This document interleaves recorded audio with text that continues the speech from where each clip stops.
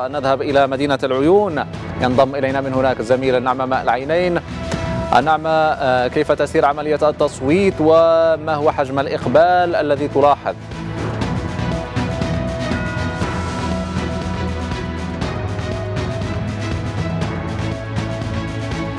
نعمة ماء العينين سألتك عن مجريات العملية الانتخابية في المكتب الذي توجد فيه أنت ومستوى الإقبال.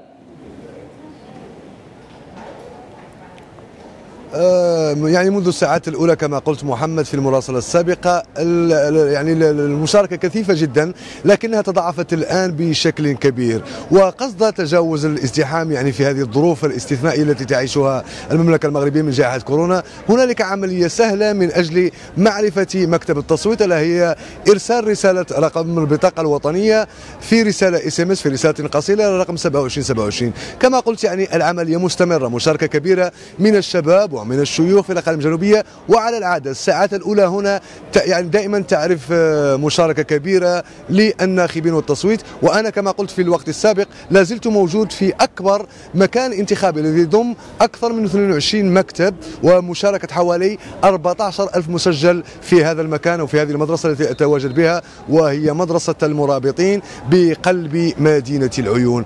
هنالك العديد من الأرقام لكن سنحاول إعطاء بعضها في كل مراسلة. طيب. بالنسبة للانتخابات الجماعية على مستوى إقليم العيون يتبارى 1204 مرشحا ومرشحة ضمن 28 لائحة للفوز ب 43 مقعدا مخصصا لجماعة العيون و250 مقعدا مرشحا بالاقتراع الفردي للظفر ب 76 مقعدا بالجماعات الترابية المرسى بوكراع والدشيرة وفم الواد شكرا جزيلا لك زميل نعم ماء العينين. حدثتنا من العيون وواضح جدا في الصورة من خلفك أن هناك حركية دؤوبة أن هناك إقبال من المواطنين كما نشاهد في هذه المنطقة التي قال موفدنا نعم ماء العينين إنها تشكل أكبر لنقل مركز اقتراع تضم العديد من مكاتب التصويت والهيئة الناخبة المعنية بها أكثر من 14 ألف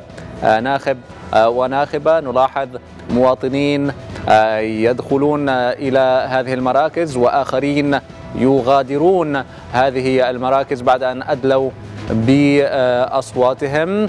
لعلها من الصور لنقل أكثر دينامية من قياسا إلى كل الجهات التي شاهدناها إلى حد الآن على مستوى التعبئة وعلى مستوى المشاركة. هناك فئات متنوعة.